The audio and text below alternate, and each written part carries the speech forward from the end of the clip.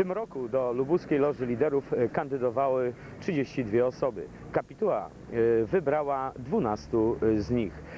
E, Statuetkę lidera e, Loży e, otrzymał wójt gminy Siedlec, e, pan e, Stanisław Piasik. E, Panie wójcie, od 14 lat zarządza pan gminą Siedlec. E, W jakim stanie zastał pan tą gminę? E, Proszę pana, trzeba powiedzieć co prawdę taką, że gmina Siedlec nigdy nie należała do gmin biednych, zawsze była gminą dość dobrze stojącą, e, ponieważ z drugiej strony można by sobie odpowiedzieć tak, jeżeli nie ma żadnego przemysłu, jeżeli Bonitaxa Gleb jest 70% klasy 5-6, to faktycznie powinna być bieda. Tak wcale nie jest. Ludzie są zaangażowani, społecznie pracowici, gospodarni, pracujący z dziada, pradziada. A co udało się w tym okresie 14-letnim zrobić, no to można powiedzieć pobudowaliśmy, to znaczy mieszkańcy pobudowali dwie szkoły, ośrodek zdrowia, kilkanaście kilometrów dróg, cała gmina jest zgazyfikowana, przerosło ponad tysiąc telefonów i tak można by było to wymieniać dość, dość mocno i dość długo. Panie wójcie, już w 78 bodajże roku gmina zdobyła tytuł wicemistrza e, Kraju. kraju, jeśli chodzi o gospodarczość. E, Później e, dokładaliście kolejne tytuły. To znaczy akurat tak zawsze nam się udawało, że y, nie byliśmy jedynie jeden raz y, tylko wicemistrzem gospodarności, bo udało nam się zdobyć mistrza gospodarności. Byliśmy parę razy wielokrotnie wicemistrzami gospodarności, a w ostatnim roku, znaczy w 1994, uzyskaliśmy tytuł pierwsze miejsce jako gmina piękna. I oczywiście nie mówię o tych małych takich sukcesach, no bo są to jakieś pewne sukcesy, gdzie człowieka cieszy mnie osobiście jako wójta gminy, mieszkańców również, ponieważ w końcu oni w tym środowisku po prostu żyją. Próbujemy no, starać się rozwiązywać te problemy, które bezpośrednio nurtują naszych mieszkańców. No przede wszystkim w czym nurtują naszych mieszkańców? Jeżeli będą dobre drogi, jeżeli będzie dobra oświata, jeżeli będzie dobra służba zdrowia, jeżeli będzie dobra łączność, to uważam, że wszystko inne to samo przyjdzie, ponieważ tu nie trzeba ludzi namawiać do tego, że należy robić, nie robić, bo jeżeli ludzie czują za tym działaniem, że idą pieniądze, no to wiadoma rzecz, że naród poznański, bo tak to mniej więcej jest, no zawsze był pracowity, jest, będzie i to nie ulegnie żadnym zmianom. E, Gmina Siedlec jest jedną z pierwszych gmin, które pod swoje skrzydła wzięły i oświatę, i e, służbę zdrowia. Nie bał się pan e, tej decyzji? Proszę pana, my oprócz służby zdrowia i oświaty mamy wiele innych zadań. To znaczy nie wiem, czy któraś z gmin ma tyle zadań, które zostały przyjęte, a wcale nie musieliśmy przyjąć w zakresie administracji rządowej, bo przyjęliśmy pierwsze, jak tylko było można, oświatę, potem służbę zdrowia, potem dom pomocy społecznej. Mamy jako może nieliczna gmina, która wydaje u siebie bezpośrednio paszporty. Czy należy się bać? Uważam, że nie że sprawy związane z oświatą, ze służbą zdrowia są na pewno bliższe nam niż panu ministrowi edukacji narodowej w Warszawie czy kuratorowi oświaty i wychowania w Zielonej Górze. Uważam, że myśmy tak wiele zrobili, iż chcemy, żeby szkoła stała się szkołą środowiskową, samorządową, gdzie bezpośredni wpływ na to powinni mieć mieszkańcy, to znaczy rodzice.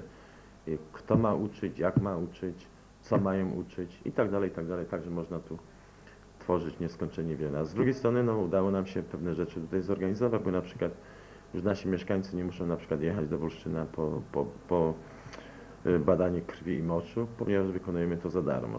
Zlikwidowaliśmy te wszystkie skarbonki zbyteczne, gdzie na każdym miejscu no, ludzie musieli te datki składać. Uważam, że trzy ośrodki zdrowia, które na dzień dzisiejszy u nas pracują, są wystarczająco y, dobre i potrafią zaspokoić te najpilniejsze potrzeby, jakie są. Również mamy jako nieliczni chyba w Polsce swój gminny dom pomocy społecznej. To też jest nasze zadanie własne. I również finansowane I również finansowane jako zadanie własne gminy. Uważam, i- że w każdej gminie taki dom pomocy społecznej oczywiście powinien być. Oprócz tego domu pomocy społecznej mamy rodzinny dom dziecka w Nieboży, który również takich domów dziecka na terenie województwa zielonogórskiego, teraz żeby nie skłamać, albo to jest jedyny, albo chyba drugi, który jeszcze się w tych czasach po prostu utrzymał. W takim układzie zadam może banalne, ale szalenie trudne pytanie, skąd gmina bierze pieniądze na to wszystko? Proszę pana, ja uważam, że pieniądze leżą na ziemi, tylko trzeba umieć je zbierać. Powiem taki przykład. Myśmy rozpoczęli w roku 94 dwie wsie odnośnie z wodociągowania. Do tych miejscowości należała Karna i my należało Żodyn. Karna czekała na wodociągowanie 20 lat, a może nawet i więcej. Było to pobudowanie sieci wodociągowej długości prawie 15 km. W Żodynie ponad 8.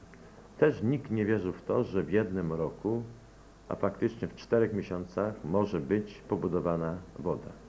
Udało się pozyskać środki z Agencji Restrukturyzacji i Modernizacji Rolnictwa, która nam w tym zadaniu pomogła i za temat został załatwiony. Kiedy budowaliśmy y, gazyfikację wsi, ponieważ jesteśmy wszyscy, wszystkie wsie są zgazyfikowane, to w bardzo dużym stopniu pomogł, pomógł nam Europejski Fundusz Rozwoju Wsi Polskiej. Także pieniądze są, tylko trzeba umieć pukać, wiedzieć gdzie pukać i temat jest załatwiony. Śmiem twierdzić, że jesteśmy jedyną gminą, która nie ma na dzień dzisiejszy żadnego kredytu. Myśmy żadnego majątku na dzień dzisiejszy nie sprzedali, wręcz go rozszerzamy. Rozszerzyliśmy go z tytułu restrukturyzacji Państwowych Gospodarstw Rolnych. Uzyskaliśmy z tego tytułu ponad 50 hektarów ziemi. Był budynek po przedszkolu w Chobienicach, 9 mieszkań dla nauczycieli w Chobienicach, e, parking i pomieszczenia e, związane z tym e, przeznaczeniem. Także Agencja Własności Rolnej Skarbu Państwa daje nam dług, już nam wpłaciła w tamtym roku 100 milionów złotych, czyli pieniądze są, trzeba umieć je szukać. E, Panie wójcie, statuetkę e, lidera e, loży otrzymał Pan za wiele inicjatyw społecznych. Która z nich według Pana była tą najważniejszą, największą?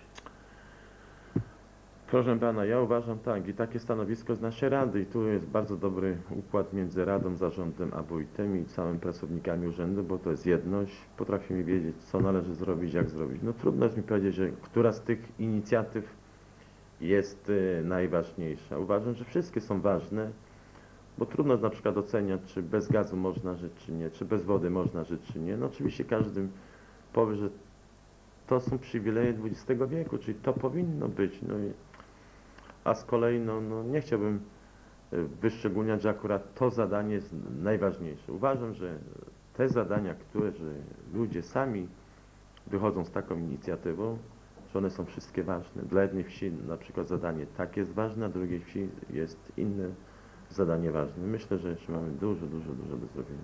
No właśnie, wsie mają gaz, jest, są telefony, wodociągi. E, Co No. w takim układzie gmina szykuje na przyszłość swoim To znaczy mieszkańcom? my mamy przygotowany program gospodarczy rozwoju gminy w tej kadencji Rady i to w tym kadencji Rady chcemy na, przede wszystkim nacisk położyć na takie trzy sprawy. Pierwsze to jest ochrona środowiska, czyli budować dalsze oczyszczalnie ścieków. Już w tym roku będziemy budowali oczyszczalnie ścieków dla miejscowości Tuchorze i Tuchorze Stare. Jesteśmy już po przetargu. Wynegocjowana kwota. To jest jedno zadanie. Następny temat to jest e, służba zdrowia. E, Chcemy po prostu no, stworzyć warunki naszym lekarzom, żeby nie tylko mieli recepty i długopisy i słuchawki, ale żeby mieli do tego instrumenty w postaci przyrządów, które pozwolą im stawiać prawdziwą po prostu diagnozę. Do tego zakupiliśmy już USG, mamy porządny aparat EKG, no i wiele, wiele takich innych czynności. Trzeci temat, który stawiamy sobie bardzo ważny i to może jako punkt honoru, żeby na terenie naszej gminy, choćby w jednej ze szkół, istniała sala gimnastyczna i myślę, że to marzenie w najbliższym czasie zostanie zrealizowane. Dziękujemy bardzo za rozmowę i życzymy wytrwałości Dziękuję zarówno bardzo. Panu, jak Mówię i taką- zarządowi Radzie. Dziękuję uprzejmie.